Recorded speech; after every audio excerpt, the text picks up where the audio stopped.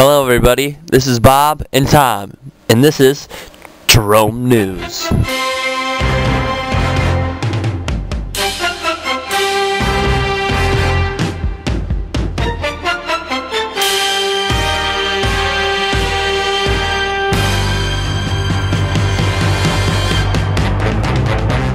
Can't believe how big she got. Yeah, I know. Yeah, she's huge. I mean, I can't believe that. What? Hey guys, we're still on. Oh my god. Well, our first story happens to deal with a car accident happening on Baker Road and Westdale Drive.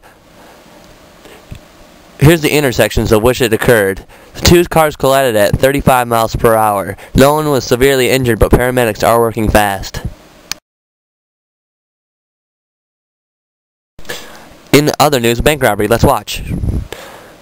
A man robbed a bank and shot two clerks.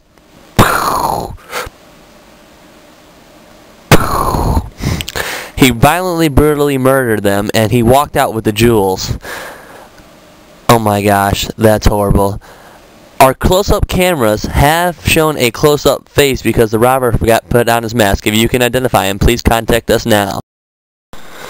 Man, you hate to see that happen, huh, Bob? Yes, Tom, I hate to see that happen. Well, to our next story, we'll, we will go on to sports. Yes, Tom, we will. Today in, was the finals of the robot fighting. Let's see who wins this tough, tough match. The two robots today hit each other off and on, but finally there was a victor when he went a beep boop bop right to his face. Let's see that in slow motion. You see the robot on the left swing his arm so hard it jolts the robot back and pops off his head. And he is the winner of this match. Wow, that's great. Well, off of sports, let's go to our weather with Ju- Judy. Guys, it's Tom. Today on Michigan weather, we have a overcast.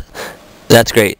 We, we don't really care. Michigan weather's all screwed up. Well, you know that I'm Bob and I'm Tom, and this is Jerome News. you're you're she she really is fat. I mean, she she's huge. Um, guys, you're still on it again. Really? Oh my God. Well, goodbye.